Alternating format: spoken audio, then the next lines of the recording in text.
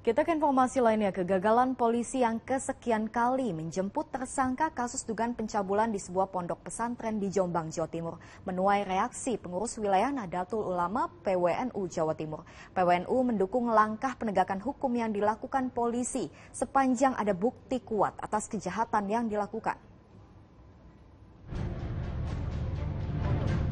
Upaya penangkapan paksa DPO kasus dugaan pencabulan oleh Polres Jombang sejak minggu sore hingga Senin dini hari lagi-lagi gagal.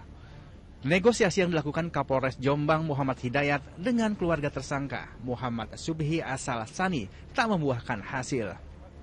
Seluruh personil termasuk tim Brimopolda Jawa Timur yang turun ke lapangan kembali ke markas, meninggalkan pondok pesantren yang juga tempat tinggal tersangka. PWNU Jawa Timur menyesalkan hal ini Ketua PWNU Jawa Timur Kiai Haji Marzuki Mustamar menegaskan, mendukung langkah kepolisian untuk melakukan upaya hukum terhadap siapa pun sepanjang ada bukti kuat atas kejahatan yang dilakukannya. Kiai Marzuki menilai justru kegagalan polisi dalam menindak pelaku kejahatan akan membuat kepercayaan masyarakat menurun.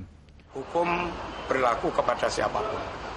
Tidak pandang bulu apa golongannya, apa status sosialnya, mau kaya, mau miskin, mau pejabat, mau rakyat, mau tokoh, mau nggak tokoh, mau katanya ada backup, mau nggak ada backup. Negara yang dalam ini penegakan hukumnya kepolisian, kejaksaan, pengadilan nggak boleh kalah dengan kelompok atau dengan apa pun. Polres Jombang tengah mengevaluasi sejumlah langkah penegakan hukum terhadap kasus ini. Penyidik berencana akan tetap melakukan penjemputan paksa dengan mempertimbangkan situasi yang dianggap cukup memungkinkan. Rahmat Hidayat melaporkan dari Surabaya, Jawa Timur.